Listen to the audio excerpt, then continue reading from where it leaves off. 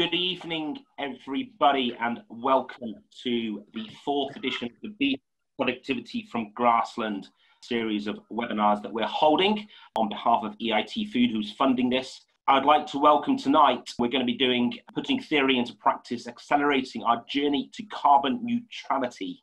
And we've got one exciting speaker tonight. We've got Dr. John Gilliland, uh, Director of Global Agriculture at Devenish, is our guest speaker and John is a former president of the Ulster Farmers Union and has a unique breadth of experience in the world of farming, food, and the environment. And we will also hear from our two exciting um, ambassador farmers, James Evans from Shropshire and Sam Chesney in Northern Ireland, and they're going to give their bit of their thoughts on what they're doing on farms to reduce their carbon impact. Okay, so just quickly, very top line, the focus on farmers. This is our ABP is working with all the various companies at the bottom, John Deere, AIA, AgriSearch, Reading, Queen's University, and Hohenheim and Turin University. And we're trying to drive technology and best practice on farm to adapt to the current changes that are happening with the current climate within agriculture. And we're using, obviously, Sam and James as our farmers champions to, to lead that and try and demonstrate the best practice on farm. So without further ado, you don't want to hear from me, you want to hear from these guest speakers. So I'd like to hand over to Sam, Sam Chesney, farmer in Northern Ireland. He's going to talk a bit about what he's doing to try and reduce his carbon impact on his farm. Okay, thank you very much, James, and welcome everybody to this very exciting webinar this evening. It's probably the hottest ticket around at present. Net zero carbon is everywhere. I see the Farmers Weekly have dedicated three pages this week to it. So everybody's talking about it. It's very important that we embrace it. It's you know future support coming down the line will depend on how we probably look at carbon, uh, how we store it, how we measure it, and how we can actually reduce it. So what are we doing on this farm? As I've talked in previous weeks, we are a very intensive beef farm, but we're trying to mitigate some of our intensivity. We've been villainized, uh, farmers have been villainized by many about the amount of carbon we produce, but we do produce carbon, but we're also the only part of the solution for saving the rest of us. What we're using here, we're only using bulls, and a, there's a, a, slide there, one of the bulls we're using with high genetic merit, greater carcass growth, easier calving, less days to slaughter, so therefore we're using less carbon. Uh, net feed efficiency, we're using bulls that eat, uh, uh, eat cattle that eat um, amount of food, but they're, they're doing more on less again, we're, we're, we're, saving on nutrients and saving on uh, um, days to slaughter. So it's very, very important. We're also using a complete vaccination policy for all our cattle. So again, we're not having unhealthy cattle doing thriving much quicker, less days to slaughter, um, less food, less um, money put into drugs and um, anthelmintics and things like that. There, yeah, we're using more homegrown feed source. We have uh, another week you've heard of it growing our mixed species sward increasing the car- carbon capture of our um, grassland. We're growing more grass, so therefore we're sequestrating more carbon. Um, we're using more direct seeding methods for less ploughing, so we're not releasing vast amounts of carbon into the atmosphere, and we're growing um, lots of clover, which means we're using less protein in our concentrates, but in concentrates. Our red clover silage has reduced our concentrate our protein levels in our finishing diets by 3%. So 3%, that six pound a ton, that's uh, percent, that's 18 pound a ton. So we're saving there, but we're also uh, improving the amount of carbon and soil structure we have. So uh, one of the most important things that we'll hear, um, and Dr. John Gilliland will go into this, I would say, in great depth, is the amount of hedges and the trees we have on our farm. We're trying to increase the size of our hedges, the, the height and the width and therefore we're only really trimming hedges every second or third year. We're trying to increase the, the width and the height of our hedges. And not also does that help sequestrate carbon, it also actually improves the environment for stock. We believe that on a bad day or a very, very sunny day, stock will eat a half percent to three quarter percent less than they should be eating. Therefore, they're not thriving. So, again, with the shelter of these hedgerows uh, and the trees we have on our hedgerows, they will be thriving much better. Again, providing us with a, a, a better product going to you know going to finish earlier. But it's very, very important that we have the trees and the hedges and the grassland to sequestrate as much carbon. The shape, the hills, the green green areas in Northern Ireland have been shaped by, by farmers over the years. And it's very important that, um, that, that, we do look after them. We are custodians of the countryside, and we will, will of course, through generations to come, we will prove that, farmers and landowners can manage the country to improve the environment. And as I said, we're all looking forward to hearing John. John's coming up next to tell us what more we can do. He'll probably he'll delve into the history of the of the land of Dowth, and um, I'll be very very interested to hear what he has to say. So really, I'm going to wind myself up here now because um, John will have a lot more to say than we have. Thank you very much. I'd now like to hand over to Dr. John Gilliland, and John will now speak on the pioneer, pioneering work on developing a net farm carbon balance sheet at Dowth Estate. Thank you very much, James. And can I just thank uh, EIT Food and all the sponsors for asking me to, to come and, and share our journey that um, we, we are on, and we've been on really since 2013. Um, for us, we really see uh, the challenge that the whole industry has been on, but particularly ruminant agriculture is coming in many directions. And I've just taken four sound bites here and really, we saw the recognition. We saw this coming back in 2013 when we bought Farm and Dowth, but we just didn't see it coming from such a breadth. On the left hand, top left hand corner there, you can see the headlines created by the Eat Lancet report human diet causing catastrophic damage to the planet. In more recent times, even in the last month, Tyson, the largest producer of animal protein in the world, they have come out clearly looking to tag on to sustainable production practices and what that will do to help reposition our business.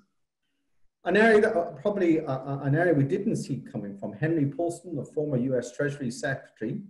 He has come out. He, he uh, is chair of the uh, uh, of the Paulson Institute, and has clearly flagged up that actually we need to recognise this asset of healthy soils and pollinators, and actually the financial world needs to buy in and needs to put a value on this and reward um, us as custodians of the landscape for the things we do over, over just putting food on the table.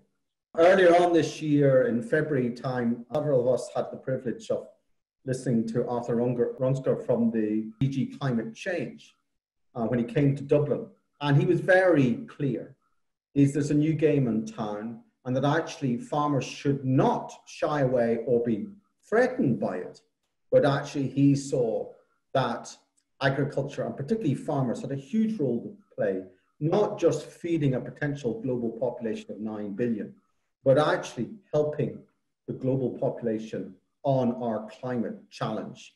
And he made a clear indication that the European Commission would be looking to support farmers who delivered positive change on carbon.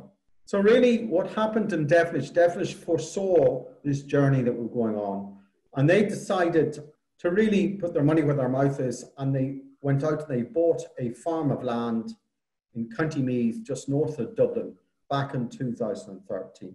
I was approached and I was asked to create a journey for Dowth that would make it really relevant to the industry.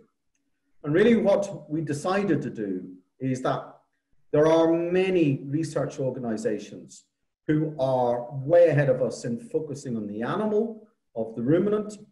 And we decided, well, not only would we look at the animal, but we'd look at the landscape to which the ruminant sits within. Because sadly, when you look at what is being portrayed in the media, what is being portrayed is our gross emissions, but not our net emissions. And really what we wanted to do is actually put some really hard data supported by some very good scientific institutes, and actually start to populate the public narrative with science and facts and not full of conspiracy and theory. And so we bought the lands of Dowth in 2013, late 2013. And really since then, we've been doing a collection of things from delivering a soil improvement program, transforming bent soils under grassland into something that's truly dynamic and we've seen an over trebling of our soil biology in that period. We've been measuring carbon sequestration, not only in our soils, but above ground in our trees and hedges. We've been also looking at the other public goods that we do as farmers, looking at how we uh, improve water quality. We have two miles of the River Boyne along our waterfront. And certainly, if we put slurry on the wrong time of year, of course, we're going to have an impact. So we wanted to get an understanding of how does our nutrient and soil leave our farm and cause problems in water quality. But we also want to get our head around biodiversity, and we have an extra challenge, and that is we host one of the last lowland herds of wild red deer in Ireland. And much that they are Ireland's top mammal, they also are devour our woods and hedges. And at the moment, I want to capitalize on carbon sequestration in trees and hedges. So I have a huge challenge there in the environment. And if that wasn't complicated enough, it just so happens we are 25% of our UNESCO World Heritage Site called Brú And uh, if I want to break the sod, uh, I need to get a license for the National Monument Service. So an interesting farm to manage, but I want to share with you our journey really about how we're creating this ruminant performance landscape house and answered the question, is ruminant agriculture a pariah, which the majority of the global media seems to think it is, or is it a global asset, an asset that can eat poor quality roughage and turn it into highly nutritious meat and milk? And no, I'm biased, let's call a spade a spade. We tend to the latter, many times to the former, so we wanted to put the evidence around it. So really what, if you're going to do a journey like this and you're going to make change, it's really helpful if you start in day one and you actually go out and benchline your, your performance right at the start. So in 2014, we commissioned three totally different digital surveys to benchmark what we were doing in the landscape. The helicopter on the left-hand side, mounted on the two tripods on either side, are, are what they call laser scanners or LiDAR scanners that sends a laser beam down to the ground and it records the speed that it comes back up. This was technology de developed by the US military and it gives you a total three-dimensional impact or, or, or, picture of the landscape. And I'll show you one or two of, what, of the results of that. The middle one was to help us with the archaeology. It is a geological a geophysics rig, and it tells you what's under the soil in the top meter. Very important for us because in a World Heritage Site, we, we started with eight national monuments. We've now got 13, and we see, seem to breed them as well as Sam does in some of his breeding programs in County Down. And the third thing we did is we did a detailed GPS precision soil sampling analysis, really getting an understanding of our, of our soil fertility. All of them done on a GPS digital framework so we could overlay one another. And these two images, just for the people who've never seen the output of LiDAR, and we call it new to agriculture technology. Been around for 20 years when the US military uh, designed it for jungle warfare. Now, what you can see in the image on the left-hand side is our farm Dowth, naked. All the LiDAR, what we've done is we've digitally erased every blade of grass, every tree, every hedge, and so you can see the complete landscape. You can see right in the middle of it a huge big clay bank henge, see our archaeology. On the right-hand side is a blow up around this, the, the enlargement around the house and some of the fields on either side of the house. And you can see every ditch, every wall, every hollow, you can see it. And it's an extraordinary piece of technology. It helped us with our archaeology, but boys, did it help us also with measuring our carbon and our overland flow. We also benchmarked our soils and we inherited a farm of lovely brown earth mineral soils but the previous owner had raped the farm for 40 years. They'd taken one crop of hay off it a year and done nothing else. They never cleared fallen trees, they never fixed fences, they never put lime on it. And so you can see our average pH in February 2014 was 5.5, with us an optimal of 6.5, so really behind the curve. Potash was just borderline, and phosphate on the whole was really low as well, bar a couple of hot spots there. But at least that was the start of our baseline. The next thing we wanted to do is we baselined our you know, pH, our P and K. We then wanted to baseline our soil carbon because if you're if you really want to go on this carbon journey, it's you know you, you can talk about annual increments, but actually if you're going to create a balance sheet, you actually need to go out and count what you've got already. And that actually that process was quite a revolution to us. So what we did on our farm is we went out and the International Panel on Climate Change, IPCC, they have a protocol on how you measure soil carbon. And if you want it, you want your results to be recognized by them, you must measure, take a sample in the top 30 centimeters and not in the top seven and a half or 10 centimeters, which is more customary. So it's, it's a bit more of a hassle. So we went out and we dug 88 soil pits, geographically spread across the whole of the farm, and also taking in different land uses, bit of woodland underneath hedges, uh, across the grass swards, and we got an analysis of our soil carbon. What we weren't expecting to see, and bear in mind, our farm has never been ploughed for 40 years. Some of it has never been ploughed at all. I said it was a mineral brown our soil. From analysis of other brown earth soils in good condition, we would have expected our soil carbon to be between 4 and 5%. Ours actually had an average of 2.1%, which is atrocious. And we had no understanding of it. And it absolutely burst the myth that I believe that the IPCC's Carbon Sequestration Committee have said that soils on the long-term grass, and our definition of long-term grass is 20 years or longer, the soil carbon plateaus and you can put no more into it. Well, here we were managing a farm that had not been ploughed for 40 years and our soil carbon was nowhere near its upper limit and clearly said there were other things that were going on. And in our case, we suspected it was to do with our atrociously low pH. And I'll come back and talk about that later. The other thing we then did when I um, is we went out and we measured the carbon in the trees and hedges. So you could see the helicopter and the LiDAR technology again. But this time we used a different piece of software. And what this piece of software can do is it actually can create a 3D model of every tree and hedge on the farm. And it also took a detailed aerial photographic survey at the same time. So when Stuart Green of Teagasc and his colleagues analyzed uh, our data, they were able to see what trees were there. They were able to work out bulk densities. And the table there, that orange or brown table you see in front of you, talks about the biomass density tons of carbon per hectare. And what you can see in our woodlands, we've got 83 tons of carbon per hectare.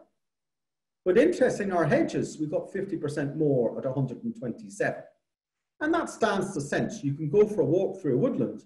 You'll not go for a walk through the middle of a hedge because a hedge is far more dense. The downside of a hedges is you need an awful lot of ribbons of hedges to get a hectare of woodlands. So it's, it's a bit of a toss up, but it really shows how valuable hedges were. So that we were the first farm anywhere in the world to, to actually audit it. There were um, the Environment Protection Agency in the Republic of Ireland came out at the same time with a document about how you would measure hedges using LiDAR. And we're grateful to Stuart Green and Teagasc for helping us uh, on that. When we did, we're doing that too, because although the pressure on us at the moment is around carbon and sometimes water quality, sometimes ammonia, we also did a, a, you know an ecological survey too, because you know you're better to baseline the lot, and as the land manager and the farmer on there, I'm responsible for everything, and I need to be able to answer that.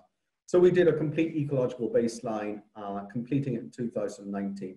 In our case, we've got special recognition for kingfisher, lamb, salmon, lamprey, and otter because of the two miles of riverfront we have with the River Boyne. We really wanted to crack our journey towards net carbon zero.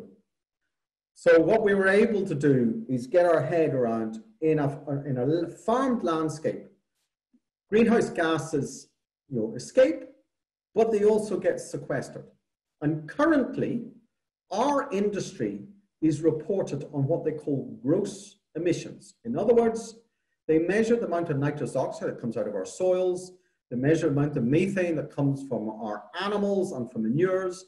They measure the amount of carbon dioxide that comes from heating buildings or diesel and engines or whatever else. But what they don't measure is what trees, hedges, grass sequester. And so we decided we were going to create a whole farm annual carbon balance sheet and to see where were we on that journey in carbon neutrality as such. So from our baselines, uh, which I showed you on our soils and our hedges, and then we went and did a literary review, looked at peer-reviewed publications to work out what were the best annual carbon sequestration assumptions to use. We're indebted, a lot of these actually came out of the work that AFBI have done in Hillsborough. They have the longest term soil trials under grass on the island of Ireland, 50 years in their slurry trials. And they were able to give us a really good understanding of prudent annual carbon sequestration rate, which we've put in, because our idea is to go back and measure our soils every five years, our hedges every five years. But you have to make an assumption on your annual increment in between. And then when you go back and measure in five years' time, you'll be able to check, have the assumptions been right? So you can see in our farm, we've broken into grazing ground, our woodlands, our floodplains, our hedgerows. And you can see uh, along the horizontal middle bit there, total soil sequestration per year, 128 tons. Total tree sequestration per year, 54 tons. So in Dowth, we are sequestering annually roughly 180 tons of carbon. Now it's important on this journey that we don't confuse carbon with carbon dioxide or its equivalents. So you actually have to multiply your carbon figure by 3.66. So the 665 figure comes from 181 times 3.66, gives you 665 tons of carbon dioxide equivalents. And that's what you use in your calculators. That's what emissions are measured on. So we need to make sure we're comparing apples with apples, apples with apples, not apples with oranges. The next thing I wanted to do then to say, well, one key variable I could do now is adjust my stocking rate. So can I put some sensitivity around different stocking rates? And at the end of the day, I have given a commitment to Devenish that by 2025, we will deliver carbon neutral beef and lamb. And I want to understand how much more of a journey I need to do in the next five years. So don't run away on this slide, but let me walk you through this slide. What I've done here is I've sensitized our net farm emissions to different stocking rates, understanding that we sequester 665 tons. So along the x-axis here, I've got stocking density. So on the left-hand side, you'll see one, and then you'll come across the x-axis, you'll see two, and right over on the right-hand side, you'll see two and a half. So that's livestock units per hectare. Up the y-axis, you've got greenhouse gas emissions in tons per year. And this is for the whole farm business. This isn't per animal or per hectare, it's for the whole farm.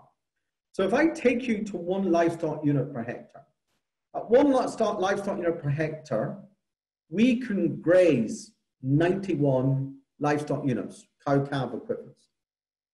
And they are grossing 580 tons in total of greenhouse gases. But I said in my last slide, we're sequestering 665.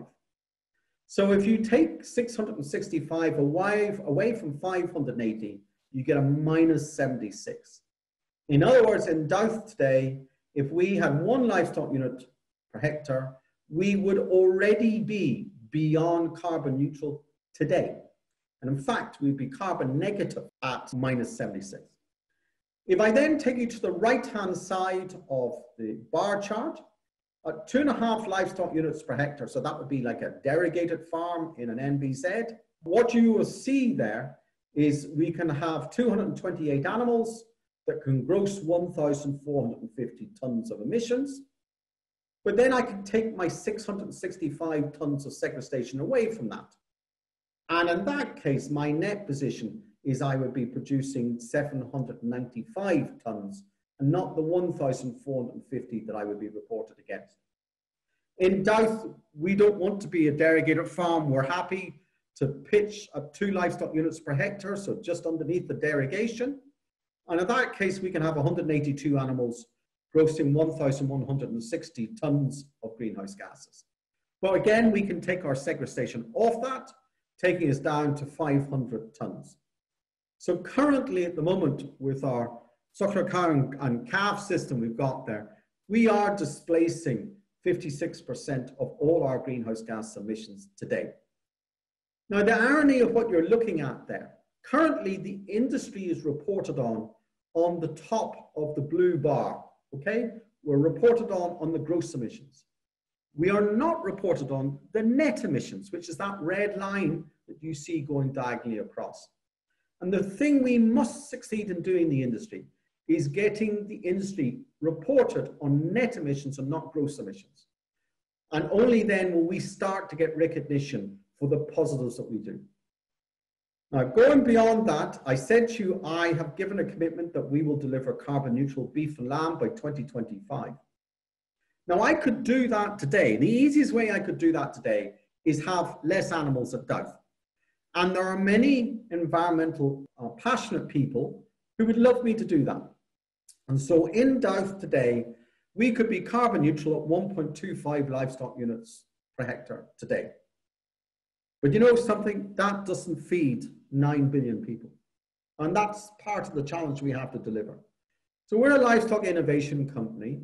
So what we're looking at is how do I keep two livestock units per hectare, but do other mitigation to actually reduce our net emissions down to zero and hopefully go beyond. So I want to share some of those. And at the moment, I'm looking at the landscape measures rather than the animals. Sam focused on the animals. I'm looking at the landscape measures. And when you do the both together, you accelerate your pathway. And so the first thing we did is improve our soil pH because there's a very close relationship in a mineral soil of soil pH to soil carbon. And your soil carbon sits within the soil biology. And the more optimal your pH is, the more your soil biology churns, the more carbon you lock in it. And so really, over the last six years, the key focus we've been is get way out of this average pH of 5.5 and get it up over 6.6. So we do soil sampling analysis every two years. We use GPS, we always go back to the same place. And so you can see the consequence of our lime applications there. And you can see uh, the change in our, in our soil pH. And we're fairly comfortable that when we go back uh, in 2023 and measure our soil carbon, we will see a corresponding improvement just by soil pH alone. The second thing we've done, and I listened to a very good lecture two weeks ago, was around uh, using multi-species swards. So we too have looked at multi-species swards. We have devoted 36 hectares of the farm to full-blown cattle and sheep trials. And we're trying four different swards. So our old heritage sward, straight ryegrass, a six-way mix, including two, you know, two grasses, two herbs, two legumes, and a 12-way mix of three grasses, four legumes, and five herbs. Uh, we have five PhD students funded by the Marie Curie program um, uh, in Brussels. And we're doing this with Wageningen University, with UCD, and supported by Bord Bia and University of Gloucestershire. And really what we're trying to do is put the hard evidence around it. So we're measuring soil carbon, the change in soil carbon. We're looking at then herbage production, mineral content of that. We're then looking at animal performance. And also then when we slaughter the animals, the animals are finished off the multi-species sward. We're looking at micronutrient analysis of the meat to see are we getting a difference in the meat quality of different herbages. The next project we're doing is we're also going to introduce on about 10% of our acreage, and we're going to put trees and animals together. Uh, some people call it agroforestry, some people call it silvopasture. I'm just going to make a clarification between the two. Agroforestry is where you have trees and animals together, but you manage the project to sell good quality timber. Silvopasture is where you put trees and animals together and you manage it to optimize your grass utilization. So you're going in every 10 or 12 years and managing the trees so that you have no shading effect, so you can always drive your grass utilization. So we're looking at silvopasture, that's our interest. And we've been greatly helped by AFBI and by Jim McAdam and AFBI in Loughgall because they have the longest trials in Europe sitting there, 30 years with ash. And what the first thing you can see, that blue table in the middle, is you look at tons of carbon sequestered per hectare per year. Silvopasture is between doubling and trebling the annual carbon sequestration per hectare compared to straight grass, which is quite extraordinary. Okay, it's not the same as Sitka spruce, but you know something Sitka spruce, you can't produce food. Silvopasture, you can. The second thing is if, uh, and we are being asked to deliver on biodiversity. If you look at spiders, you look at birds, you look at beetles. In all of those cases over 30 years, ash agroforestry or silvopasture has surpassed grassland and woodland.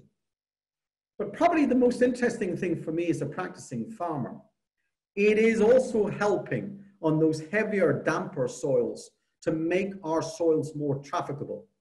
Because the key thing for us in making money is that actually a kilo of beef from grazed grass is far cheaper than a kilo of beef from ensiled grass, which is far cheaper than a kilo of beef from concentrate. So what we're trying to do is drive grass utilization and being able to improve soil trafficability on parts of our farm. And even, I mean, we've just had an awful wet August. Certainly around me at home, there are many animals that had to come in during August time. If you've got 10% of your acreage in silvopasture, instead of bringing them in, throw them onto the silvopasture. It will allow you trafficability in those extreme wet events or early in the spring or late in, in, in the autumn. So a fantastic tool to help you extend the grazing season, drive your utilization, but drive carbon sequestration and biodiversity. I put this one slide in because I want to focus on the animal a moment. So the last three slides have been focusing on what we're doing on the landscape. And I am very optimistic. By 2030, ruminant agriculture will have proved all the doubters wrong. We can deliver carbon neutrality, not only what we can do in the landscape, but also what we can do with the animals. This slide here I have borrowed from my colleagues in Australia. NLMP stands for the National Livestock Mitigation uh, Program. It was a research program. And really what they've been looking at in Australia, they've been evaluating all the different ways you can reduce methane from the animal. And you'll see down on the left-hand side, the little yellow circle, genetics dairy. If you come horizontally across, you'll see a blue circle saying genetics beef and sheep. And we know if you improve genetics, you will drive down the greenhouse gas footprint per kilo of product. We know that. Then you've got, you know, there was a team in New Zealand for a while working in vaccinations and uh, looked at that. There's some people looking at charcoal, others are looking at bioactives like garlic, like citrus.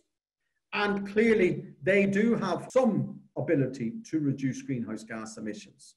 For me, um, the two that are probably looking at the most promising NOP, more now commonly known as 3-NOP. That is a synthetic product uh, manufactured, created by uh, DSM in the Netherlands. And they are bringing it forward to the marketplace as a feed additive where you can reduce methane emissions by 35%. The other one, that uh, the one at the very top there, which is algae, reed seaweed, you will have seen in the media over the last six, 12 months, a lot of interest in red seaweed, asparagopsis, and certainly the work that's been led in Australia by CSIRO, CSIRO, they are seeing, and by UC Davis in California, they're seeing anywhere between 60 and 90% reduction in methane with a half percent feed added, uh, half percent inclusion on a dry weight basis into a diet. So I absolutely believe we will have the capability. The toolbox will allow us to deliver. The issue is can we get the economics to stack up? It's also important on our farm and all our farms is we don't just deliver on carbon. This particular colorful slide is again taken from the analysis of our LIDAR, but using it for a third way. Each of those red, what looks like blood vessels there, those are actually routes of overland flow of excessive rainfall. And it is those routes that will carry any phosphate that escapes from our farm into the River Boyne will go down one of those routes. So what this is telling me is where it will run and also the size of area it drains down. So if you have a two inch rainfall event over six hours, we can predict how much water is going to discharge, where it's going to discharge. So if I'm going to do a riparian strip, I know exactly where to put it and what size it needs to be. And it really, we believe, is another excellent tool to really help us drive down our environmental footprint. When you're on this journey, it is vital that the journey is internationally recognized. It's great to, to, to raise a pint in a bar, uh, uh, in a pub, and say, This is what I've done. But you know something, it's not worth anything unless we actually have it validated by international organizations. Now, we are very fortunate in Ireland, in, in Great Britain, we have some fantastic research facilities. And we have good relationships with Queen's University, with Teagasc, with UCD, We've got great relationships at SRUC with Harper Adams, but we also have great relationships with Wageningen University in Research in the Netherlands, who are the world's number one university. And in fact, Dowth is one of 11 international lighthouse farms, farms that have gone beyond best practice on five continents. And it's a pleasure to work with them. And they've brought real credibility to our journey. So when we're sitting down with regulators, with policymakers, with environmental NGOs, when we produce the data and it's been validated by one of these key organizations, we bring credibility. Our narrative has value, and therefore we can start to get proper value for the carbon we're sequestering. one thing that is, should not have come as a surprise to me when we went on this journey is that there were would be banana skins out there. And not all the banana skins are of us and the industry's making. This particular slide I'm putting up here, the reason I put it in here, it is a snapshot of the World Wildlife Fund for Nature's website on the 28th of April 2017. They announced to the world that they had secured carbon credits for 480,000 hectares of rainforest in the Congo using LIDAR funded by the German government. Now, the reason I'm making a big deal about that is currently in the developing world, measuring above ground carbon using LIDAR is not recognized by IPCC. But it is recognized in the developing world under a thing called REDD+. And it's a real perversion of policy. Either science work or it doesn't work. And quite clearly it does work. WWF would not be doing this. Germany wouldn't be funding it. IPCC would not be recognizing it if the science didn't work. So if the science is good enough for the developing world, surely it's good enough for the developed world too. And we've got some hurdles there that are not of our making, and we need to burst through them, and we need to have our industry unshackled and to use all the tools. So you do come across these perverseness within policy and within regulation. So I really just want to finish sharing our journey here. We believe we're putting theory into practice. We have absolutely accelerated our journey to carbon neutrality. And my own job's on the line. I've made it very clear that um, we are passionate in delivering carbon neutral beef and lamb by 2020. The key thing for us, we could not have done it without education and training, without the use of technology to create these robust baselines where we can measure what they call natural capital and by personalizing it, it has absolutely empowered us to make a positive improvement in our practice. And we think that's fundamental. If we want farmers to come on this journey, personalize the issue, give them a target, and they'll work to it. The other thing is we need to measure on a regular basis, but we need to use international protocols to measure. It's not good enough in soil carbon to measure at seven and a half inches, seven and a half centimeters. If the protocol is 30 centimeters, then we're going to have to go to 30 centimeters. And we need to report and verify that change. That brings credibility, it brings transparency, but it also means that we can get the full value of carbon when carbon is properly priced for farmers. That will bring real change, but in my opinion, will also bring significant future profits for hard-pressed livestock producers as we go into, you know, into uh, up to 2020, uh, up to 2030 to hit the targets for 2030. So I hope that has been helpful and certainly I'm staying online and happy to take questions and answers. Thank you. So John from Connor Colgan, Dr. Gilliland, what measurements did you use to quantify a trebling in soil biology?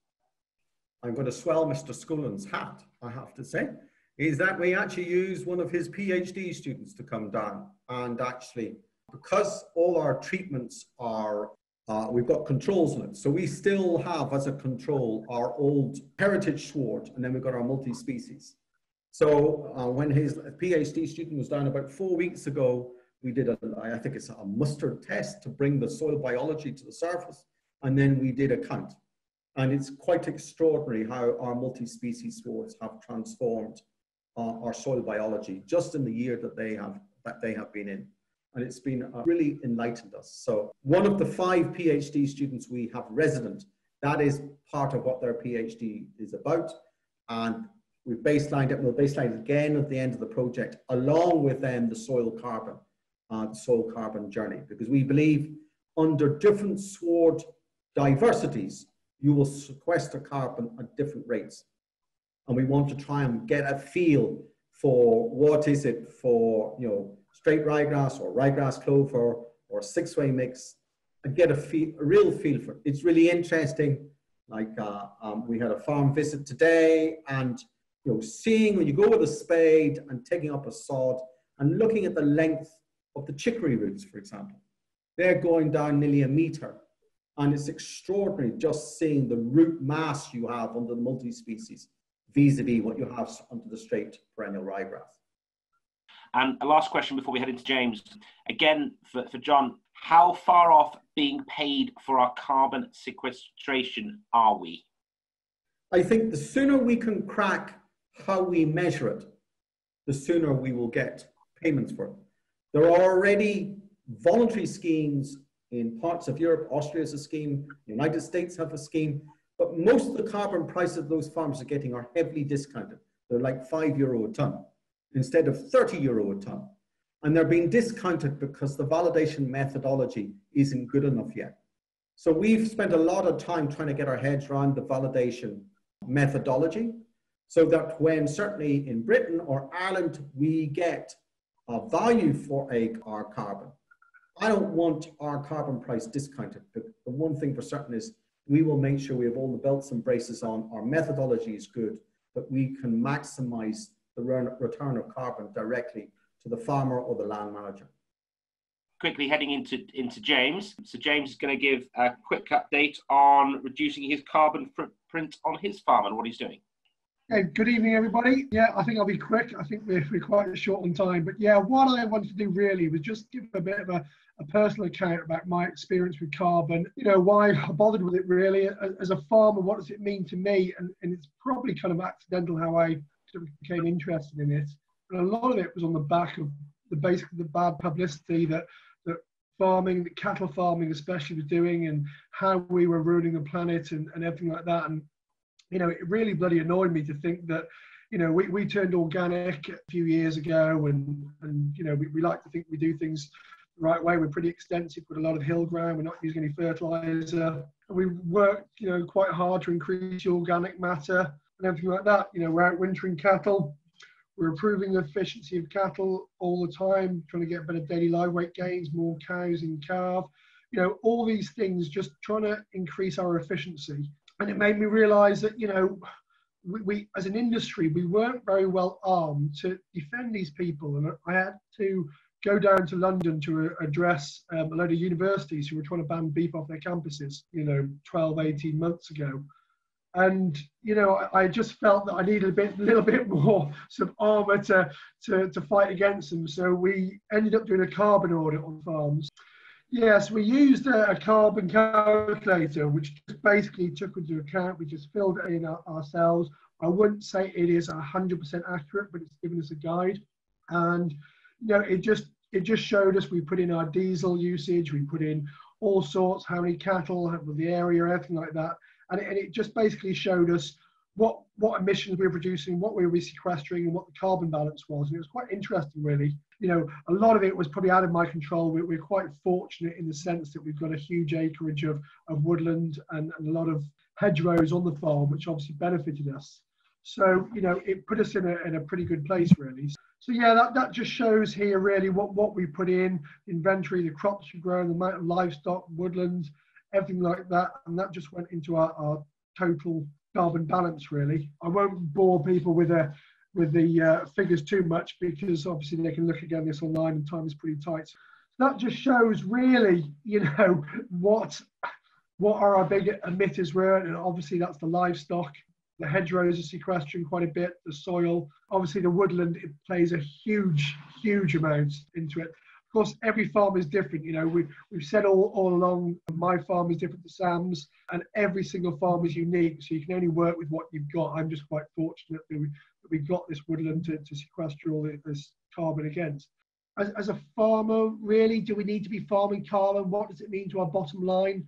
And what I see it now is, is yes, it's a, it's a great tool for fighting climate change, but also as, as a beef farmer, it's probably one of our best marketing tools that we've got. You know, if, if we can say that we're producing beef that's, that's carbon neutral as near down to it as possible, you know, this is what the, the supermarkets should be buying into, what you know, I, I definitely know we sell a lot of beef through different ways through butchers and online and things like that. And you know, the general public are definitely changing. If they're going to eat beef, they want to have it produced in a sustainable manner. And, and I think going forward, this is this is critical to our industry. That's all the slides. But yeah, what what I was basically getting at that we we proved through that really that for every kilo of beef that we're selling dead weight, we're actually sequestering 18 kilos of carbon. You know, and I can't say 100% that's accurate, and we haven't gone around the whole farm um, measuring at 30 centimeters, you know, like like John suggested, and that's that's something that I'd love to get funding for in the future. And I think our new ELM scheme in the future will actually incentivize the way we farm carbon and just the, the benefits it can give us to better outwintering and everything like that really but I'll, I'll probably wrap up for now and if anyone's got any questions about what i've talked about please fire away Right, I'm going to ask a few questions now. Please, the people that are answering the questions, can we be sort of quite brief on the on, on, on the response because there's a lot coming in. I want to try and get them all answered if possible. Right, so John, a question for you for, from Aurelie Aubrey. John, when estimating carbon sequestration from trees, do you deduct the biomass taken out when trimming hedgerows or cutting down trees? When you create a carbon balance sheet, if you remove, if you cut a tree down and you remove it, that is a removal, and you in a balance sheet you need to account for that. That's a negative. But then if you use that uh, that tree to fuel a biomass boiler that displaces fossil fuels, that's a positive. So you can actually leverage. You know, if, if you currently heat your milk parlor using brown energy and you displace that using a biomass boiler from trees, Okay, it's a negative when you cut the tree down, but it's a positive if you reuse the tree and you actually displace fossil fuels coming onto your farm. So you can actually leverage your carbon neutrality or accelerate your carbon neutrality position. Right, from, from Ian Buchanan, and this is for John. What methods does John use to spread his slurry and what way are the cattle housed on the farm? So at the moment, all our slurry is put on by trailing shoe. And uh, all our slurry is also, we biologically treat our slurry with a biological additive to actually reduce the ammonia content of that. Currently, we don't have any animals on the farm because of the heritage status. We were not allowed to put farm buildings on it. So it's a grazing farm. Our animals are finished off, and the slurry that we get, we actually get our neighbour's slurry because he's an intensive dairy farm and we do a deal with that. Because we are very keen to put slurry back on. Again, the work that's going on in Hillsborough is showing that cattle slurry is very good to accelerate carbon sequestration in soils. Another one for you. How much lime have you put on? So initially, we went on in 2014. We did five ton per hectare or two ton per acre over the whole farm. Two years later, we came back and we, because all our soil analysis is GPS, we actually managed, we have a contractor who has a variable rate lime spreader. So when we went on two years later, our application rate was a variable rate. And so some of it got as low as one ton per hectare and some of it went as high as six ton per hectare. And really what we're trying to do is uniform the farm up at a pH of 6.5 or higher. That's our, that's our aim at the moment. Last spring, we just touched up on a few bits. Again, no more than two, two tons the acre on about a quarter of the farm that hadn't, you know, we had some fields down at 4.9. So we had a long way for that to travel. And we're a great believer in lime, a little bit often rather than huge, big, heavy doses. And the GPS technology is fantastic. Being able to put the lime on where it's needed and not put it on where it's not needed is fantastic a question for, for John again. If you're planting 400 trees per hectare, what grass yield do you get? So far, we get no difference. In the trials that were in Loughgall, they had no reduction in grass yield in the first 12 years. Our, what we're going to do in, in year 10 to year 12 is we're going to either pollard or coppice our trees and manage the trees so that there will be no negative impact on grass yield. Because that's what silvopasture is about. Agroforestry you'll take a reduction in grass yield to optimize your timber. In our case, we're going to keep our grass yields optimal and we're going to manage the trees not to take, not to shade the grass. For you again, John, have you done any measurements of water infiltration in diverse swards of silver pasture? Not in silvopasture, but we have done it in our multi-species swards. And actually, there's quite a lot of published data. Christine Marley, uh, Christina Marley in IBERS and Aberystwyth, she did a lot of work on water infiltration rate using legumes. And certainly she saw up to 12 times better infiltration in swards, particularly with red clover. White clover is also good, but red clover has the edge on it. Uh, we have not done it in our farm in silvopasture, but I believe AFBI have done it, and that played into their, their calculations of a 17 week greater window of trafficability in a year. They measure soil moisture and the straight grass and within silver pasture. And that's how they're working out the increased trafficability for 17 weeks a year. Next one is, hi John, is it possible to put standard carbon values on inputs, outputs to assist farmers in their journey towards carbon neutrality? The answer is yes, but I think that actually misses the point because what we're trying to do here is empower farmers with knowledge about how they improve their own system. And actually, I'm quite competitive. I'm not happy just with standard figures. I want the right figures for my farm. I get measured on my farm. I don't get measured on my neighbor's farm or the person down the road. So we are very keen to be more so that when when we you know put in a multi-species sward rather than ryegrass, if we're going to increase segregation, I want that in my balance sheet. I want acknowledgement that I have done positive change. And when there's a value on that, I want to optimize my return on carbon as well as the sales we get from meat. Um, from Rachel, you've gathered a truly impressive level of detail about the farm's carbon stocks, usage, and sequestration. But I'm just wondering how much was invested in gathering this data, and is this something that would be viable for most farms? Also, what are the next steps for the industry to establish a standardized means of calculation robust enough to stand up to scrutiny from retailers and international buyers, as we often hear carbon figures debated? So, when we started this journey, I was told it couldn't be done. Okay, so we are an innovation company. So, we were determined to prove people wrong, that we were going to do it. We were going to use good science, good scientific partners, and produce the data and be transparent in our journey. I hope I've shared that with you it costs us quite a lot of money to do. For example, the LIDAR cost us 30 pounds a hectare to do. And although, because we were first in it and Teagasc were very keen to support us, they did the analysis of our LIDAR free of charge. But if I was to buy that service, it probably would cost me another 30 pounds an acre, hectare, sorry. So, you know, the LIDAR analysis, the LIDAR survey, LIDAR analysis is expensive. It's our belief that as this becomes more routine, the cost of LiDAR will plummet. We will also get more private sector people out there who will actually do the analysis for a lot cheaper. So when you're starting in a journey, expect a high cost. We did have a high cost, but we think it's really doable. In regards to our precision soil sampling analysis, we have an independent private sector contractor comes in with his quad bike and he does our 91 hectares and he charges me for sampling and analysis, £3,100. And, you know, I think that's really good value for money. He's doing it with precision, he's doing it with GPS. I'm getting good data, and I get it every two years. I actually think getting data is cheap because the quality of the decisions I'm making with that visibility of where my farm is, we're making far better quality decisions and we've dramatically improved grass utilization.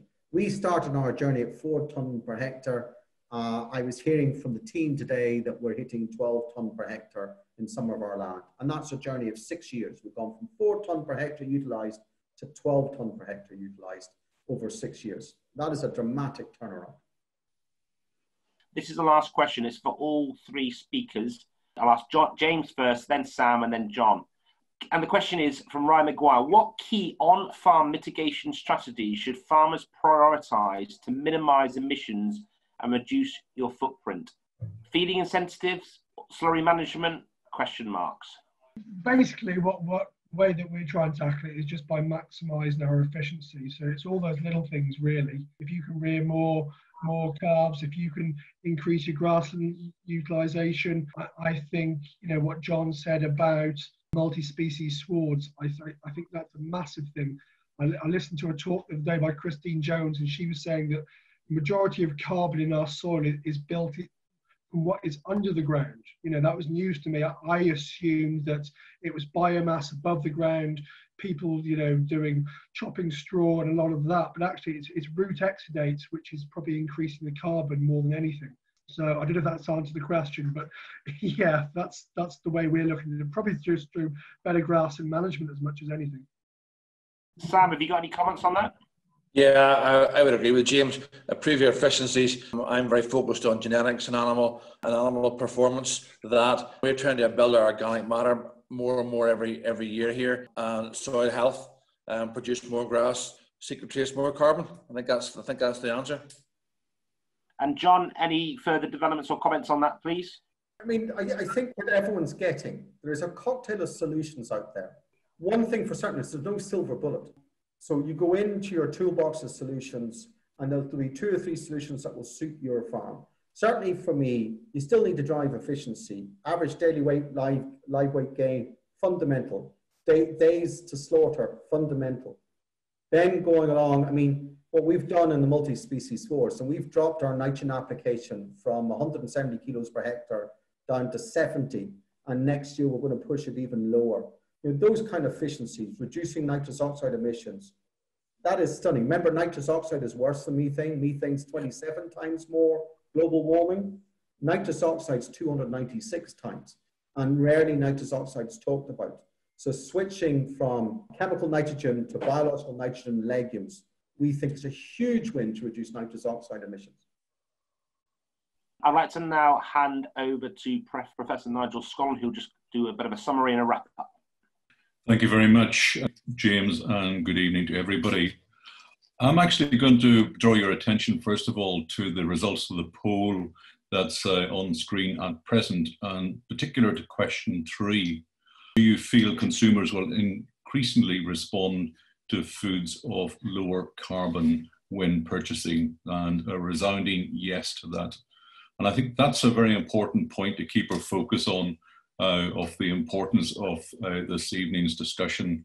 The consumer and society is getting more and more interested in the big area of, of climate change.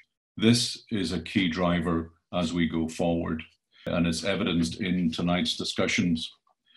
It's also, if you look at the other questions, the, the survey responses there, you, you will see that the majority of you by far on this webinar tonight have a big interest and sustained interest in, in, in carbon on your farm and learning more about how to address the issue. So tonight's webinar has provided some excellent insight uh, to that.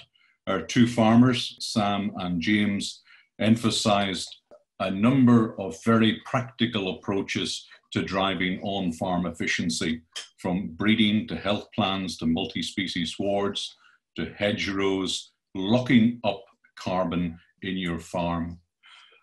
And John has provided us with a very in depth, excellent discussion of a ruminant performance agricultural platform. And I really feel that this is very much state of the art, really tackling one of the biggest questions today in ruminant agriculture the whole situation of the carbon and the environmental impact of ruminant agriculture.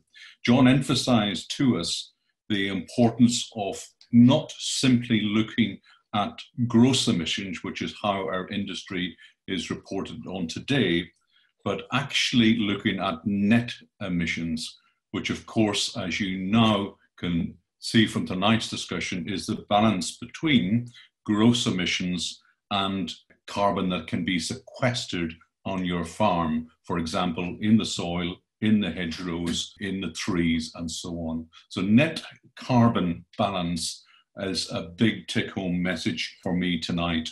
And it was a very elegant description and journey by John to walk us through the principles of how one can establish a net farm carbon balance. It is also very interesting that John opened up the subject of water quality. We touched on this at our webinar two weeks ago. I'd just like to add a brief message that this is also a very important angle for us to consider in our farming systems. And finally, just to conclude the, the message from John, uh, measuring and reporting and quality data. I think in all of the webinars that we've had in this series over the last number of weeks, we get the word quality and we get data and we get measuring. If we cannot measure things, we cannot change, but we need quality measurements to be able to get quality data to make quality decisions. And the final thing I would add in here is just to remember that in reducing your carbon footprint, generally you're driving improvements in productivity, improvements in efficiency, and that delivers very significant economic benefits as well.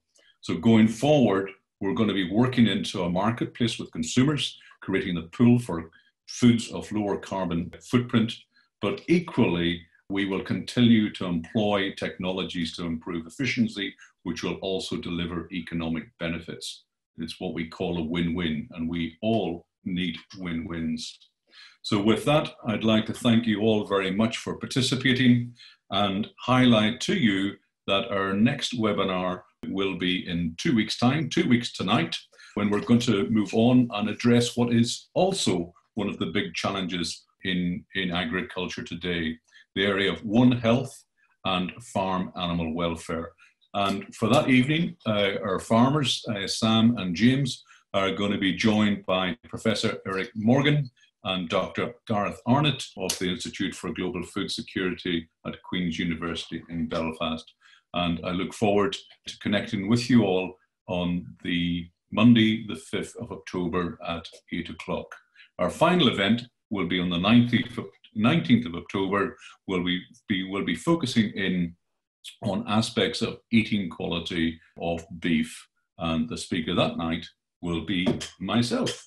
So with that, I shall leave it and thank all our speakers and most of all, thank you all for participating in this webinar tonight. Thank you very much.